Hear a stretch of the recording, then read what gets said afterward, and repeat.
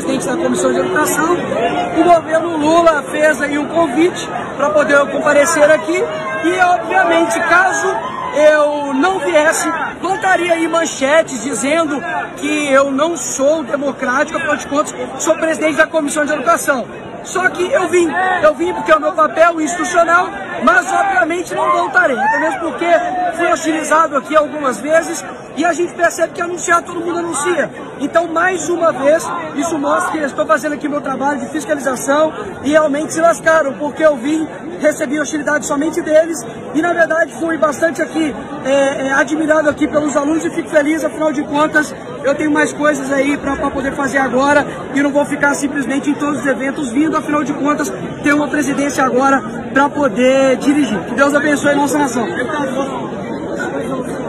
Oi? É, a, a, ali obviamente que eles não vão ficar gritando, né?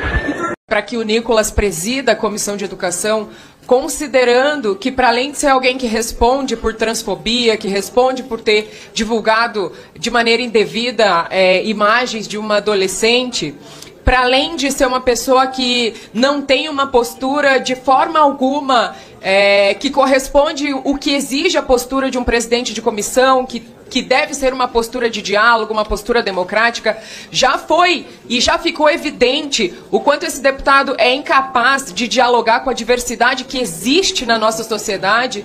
Então, me somo com todas as pessoas que colocaram seu voto contra essa indicação. Mas também é importante dizer, como professora, como alguém que há muito tempo vem batalhado por educação pública de qualidade, que é alguém que é realmente inimigo da educação, que capitaneia os anseios da, da direita extremista evangélica brasileira, que se coloca contra toda a construção necessária para que a gente tenha igualdade de gênero nas escolas, para que a gente tenha uma escola sem homofobia, sem racismo, sem machismo, que são doenças da nossa sociedade que fazem com que o Brasil encabece rankings de violência contra a mulher, de violência contra a população LGBTIQA+. Então é alguém que não está no campo da educação para somar e para construir a educação que realmente a nossa sociedade precisa. Então reafirmamos aqui, reafirmo aqui esse protesto e esse voto contra essa, esse aviltamento a toda a luta de nós que construímos de fato a educação brasileira. Aliás, é muito engraçado. Bolsonaro uma vez ele disse que se na CPI alguém for lá e não falar, tem que torturar. E o que, que ele fez quando foi depor na, na quando ele depôs na, na PF, na Polícia Federal?